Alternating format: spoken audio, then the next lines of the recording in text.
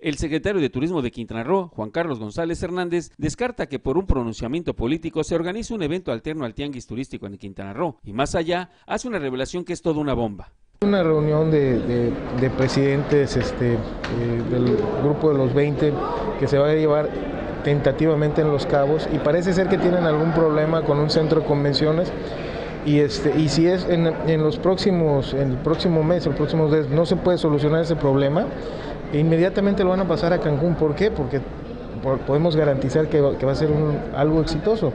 Al citarle que el Congreso Estatal aprueba por unanimidad que el Caribe mexicano organice un evento alterno, asegura que ningún legislador, del nivel que sea, puede decir cuándo, dónde y quién lo hará porque es una cuestión de negocios. Los, compradores no van a venir aquí porque un Congreso, ya sea el del Estado de Quintana Roo o el de la Nación, diga que, tal día y en tal lugar se tiene que hacer. No puede ser un punto de acuerdo. Es este, con todo respeto para mis diputados, si estás hablando del Congreso local y también para los diputados federales, esto no es un tema político.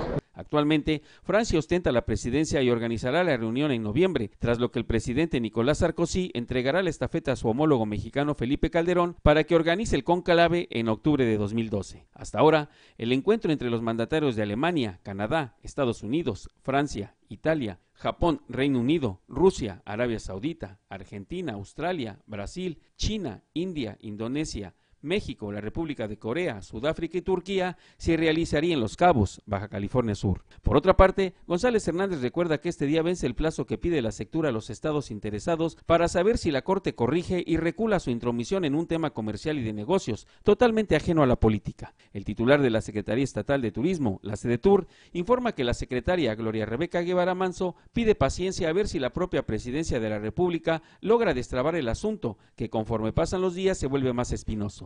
De no ser así, entonces estarán empezando las reuniones para, para replantear un nuevo este, tianguis o feria del turismo de México, dado que este, sin lugar a dudas no existen condiciones para que se pueda dar el tianguis en Acapulco de forma exitosa, porque si no hay compradores, tampoco va a haber vendedores. Incluso el exalcalde de Cozumel refiere que ya los empresarios e industriales del turismo del Caribe mexicano empiezan a manifestar que no asistirán a un evento donde no habría quien les compre, toda vez que los propios mayoristas dejarían de ir. Detrás de la cámara, Jonathan Díaz, en el micrófono. Para Notivisión, Carlos Águila Arreola.